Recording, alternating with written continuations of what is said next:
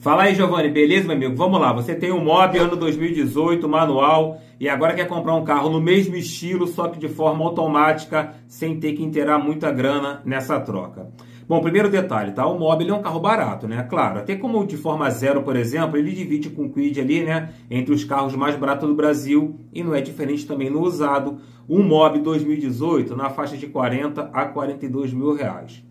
Você vai ter duas opções, tá? Uma delas não me agrada muito, que é você baixar demais o ano do carro para você conseguir comprar um carro um pouco mais barato. Então, por exemplo, você comprar um Honda Fit ano 2012. Cara, você está saindo de um carro 2018 indo para um carro 2012 para poder pagar mais barato.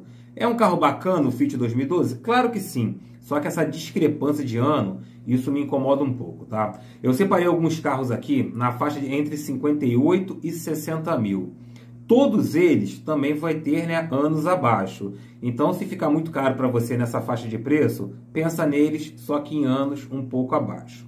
Primeiro deles, tá? Um clássico, um HB20 Comfort Plus automático 1.6 ano 2017. Carro top, tá? Top, motor e câmbio extremamente conhecidos, confiáveis, um automático de 6 velocidades uma mecânica bem tranquila de manter e uma economia de combustível também legal, tá? Em torno de 10, às vezes um pouquinho mais com gasolina na cidade, 12, 13 com gasolina na estrada, um carro com muito conforto, tá? Bancos em couro, enfim, todo completo, ar, vidro, trava, enfim, é uma boa troca, tá? Você vai sentir uma diferença é, positiva muito legal.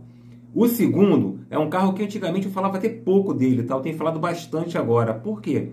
É um tanque de guerra, um carro que não dá oficina. É, quem tem elogia pra caramba. Estou falando do, do Etios 1.5, ano 2017 também, tá? O automático dele é de 4 velocidades, porém é um carro extremamente robusto, é, pouca oficina, pouco problema e muito econômico. Passa de 12 com gasolina na cidade, para você ter uma ideia, tá? Um carro muito bom também.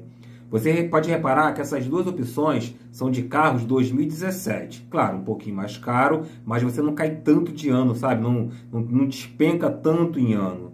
É, a terceira cai um pouquinho mais. Vou, vou, vou, voltar a falar do Honda Fit, mas aí no ano de 2015, tá? Um EX 1.5 automático também, em torno aí de 58, 60 mil reais.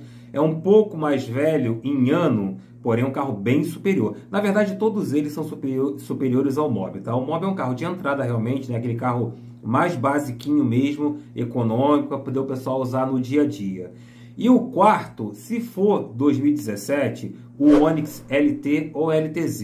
É um carro bacana também, tá? Na faixa de 60 mil reais. A partir de 2017 já tiveram aquelas alterações que a GM fez em motor e câmbio para poder ficar um pouco mais eficiente e um pouco mais econômico, tá? É um bom carro também beleza? Mas pensa bem, tá? Se você de repente tiver que cair demais o ano, por exemplo, ah, o móvel vendo por 42 e eu só posso comprar um carro até 45, pensa bem se vale a pena você sair de um carro 2018 que você já conhece, já conhece o histórico do carro e comprar um carro 2010, por exemplo. Isso talvez te incomode, tá? De repente é bom esperar um pouquinho, ou se essa diferença aí de 18 mil, 15 mil é, entra no seu orçamento, aí sim, 2017 é, você não vai sentir essa diferença. Beleza, meu amigo? Valeu, tá? Boa sorte aí. Um abraço. Tchau, tchau.